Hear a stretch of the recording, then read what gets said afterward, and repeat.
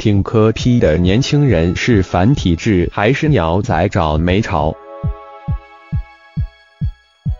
若问年轻人柯文哲在台北市是做了什么政绩，恐怕很多人也答不上来。但厌恶蓝绿政治人物算计、作态的白色无色风潮正在全台蔓延开来。摄影黄威斌。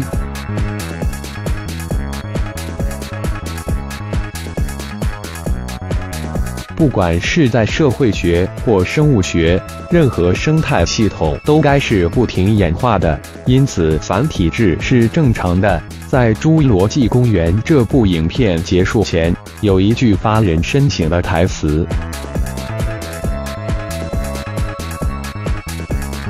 生命会为自己找出路。” All the creature find their way out。因此，年轻人繁体制。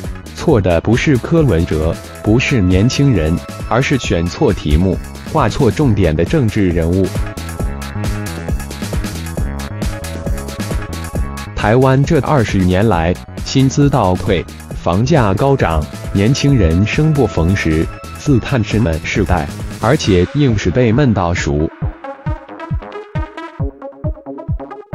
再看看大环境，也不友善。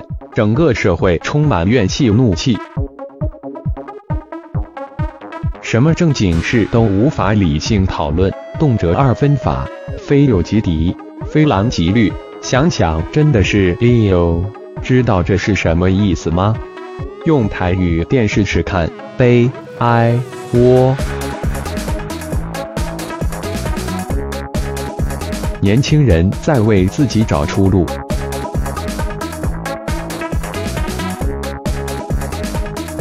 这是年轻人的用语，母汤单纯用繁体字来说明柯文哲现象，否则他还是会认为你在讲江西话。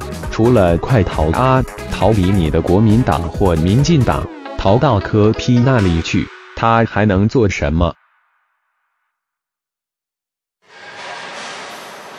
回想一下，如果当年没有黄花岗的繁体制，没有党外的繁体制。我们可以有今天的民主吗？看看隔壁黑水沟那一边的那一口灶就知道了。其实大家比较担心的是，柯文哲到底会走哪条路？这样说好了，如果柯文哲真的选上总统，那就是他从非体制变成体制内。可是这样讲也怪怪的。台北市政府内的柯文哲是不是体制内的可爱动物？柯市长好像很喜欢自称是可爱动物，他目前不就是体制的一部分吗？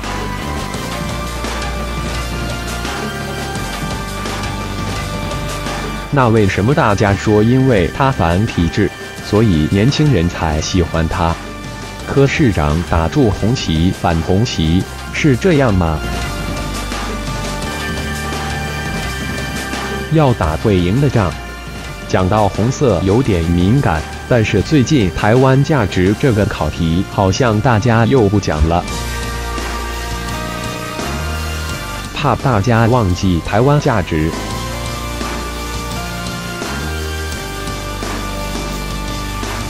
现在再来复习一下，柯文哲说他讲两岸一家亲是为了替台湾买时间。如果要用策略学的角度来决定战略与战术，不可排除的因素就是时间。没有听过这样的话吗？香度椰丢，你假我气抗慢，你也老，我也大，系统底下站久的人的，这些都是时间的概念。我们伟大的蒋委员长，在八年抗战的时候。是这样让我们勇敢的坚持下去。他说：“以空间换取时间，就这样拖垮了日本侵略者。”请问一下，当台湾价值面对中国价值，时间是在台湾这边还是中国那边？是台湾价值会赢，还是中国价值会赢？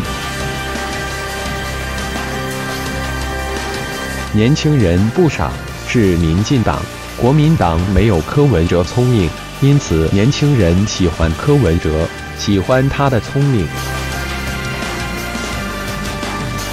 明明知道柯文哲比较会赢，却硬要跟他打。但打仗是要打会赢的，不赢还要打，这怪怪的。借柯市长的口头禅用一下，政治不就是选一个比较正常一点的就好？绿牌丝丝跟蓝牌丝丝没什么不同。再回来谈体制。年轻人知道体制是什么吗？即使知道，会认同吗？而且，民进党执政的体制跟国民党的体制有没有不同？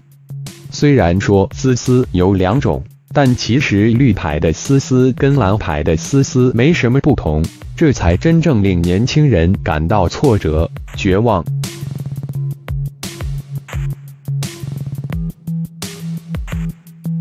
随着人口老化速度加快，年轻人肩上挑的担子愈来愈重。如果没有爸妈帮忙，他们恐怕连顾好自己都成问题。一出社会还没找好工作，就开始背学贷，遑论结婚生子、买房子。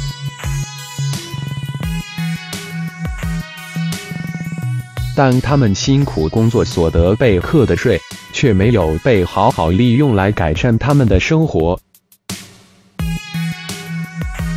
每一年科技部的预算只有愈来愈多，一年一千多亿预算，这么多年下来，台湾的科技产业有比较进步吗？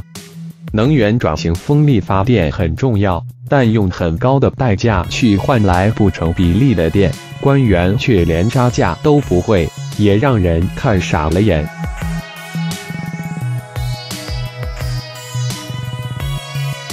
还有，建保费也越缴越多。到医院排队的时间有比较少吗？大家如果少生病，就不用缴那么多健保费。可是卫福部健保署有没有在做让老百姓比较不生病的政策？像肾脏病是可以预防的，却让洗肾中心愈盖愈多。现在台湾洗肾中心数量是全世界第三名。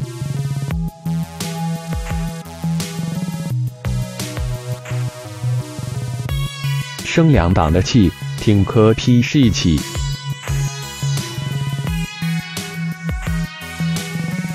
蓝牌跟绿牌执政都一样，不要盖什么轻轨，把路弄平，老百姓就很感激你了。要不就把小朋友上学背的书包弄得比较轻一点，再不然把电视节目弄比较好看一点。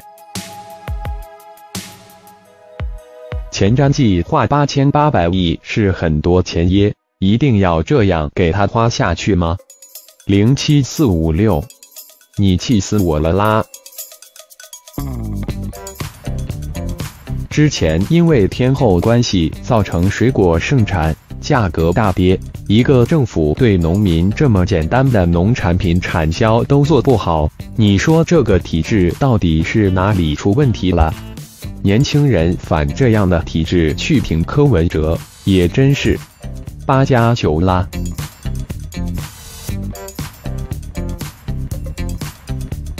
八加九就是八加将，网络用语代表屁孩。年轻好斗勇者，喜欢单挑的年轻人，或许社会经验地位不高，不过在很多肥宅眼中。八加九某方面算是人生胜利组，而且八加九等于十七，十七也是一起，难怪他们会变成柯批口中的网络义勇军。